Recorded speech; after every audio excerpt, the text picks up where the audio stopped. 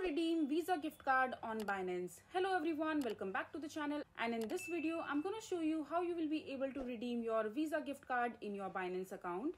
So first of all just open your preferred browser and after that just simply click on Binance. Just simply search for Binance and click on the first link that you will see on the top. And you will be landed to the official website of Binance. And here you simply have to log into your account if you haven't already. And once you're logged into your account all you have to do is just scroll all the way down to the bottom of the screen.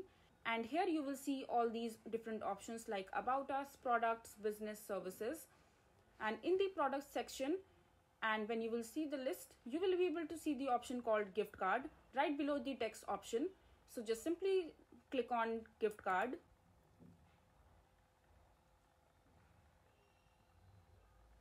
and here on this page you need to enter your uh, visa gift card number on the redemption code section that you will see on the screen. So keep your visa gift card handy with you and paste the visa gift card code right here on the redemption code section.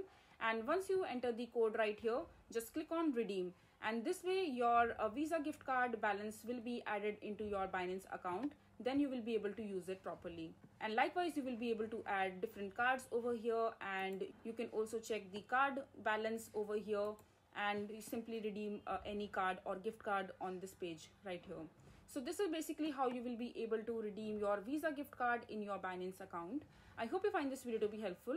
So that is it for this video. If you find this video to be helpful make sure to hit that like button and don't forget to subscribe to our channel for more such informative videos. And i'll see you the next time